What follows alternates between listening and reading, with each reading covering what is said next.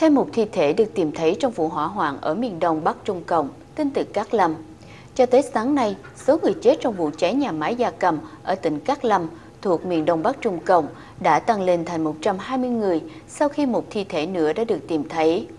Báo cáo trước đó nói rằng số người chết là 119 người và 77 người bị thương. Phó Chủ tịch thành phố Trường Xuân là thủ phủ của tỉnh Cát Lâm là ông Li Xian cho biết hơn 500 lính cứu hỏa chia thành 8 đội cứu nạn đang tiếp tục làm việc tìm kiếm các nạn nhân trong ngày hôm nay. Trong một cuộc họp báo vào tối hôm qua, các quan chức địa phương cho biết chính quyền đã thông báo cho gia đình của những người bị thiệt mạng để họ có thể tới nhận thi thể. Các kỹ thuật viên đang tiến hành thử nghiệm DNA để xác định danh tính của các thi thể.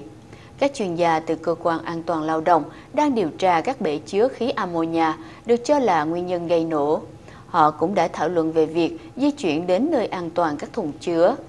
Viện Kiểm soát Nhân dân tối cao đã điều công tố viên tới công ty để cùng với các cơ quan địa phương điều tra khả năng tai nạn xảy ra là do thất trách.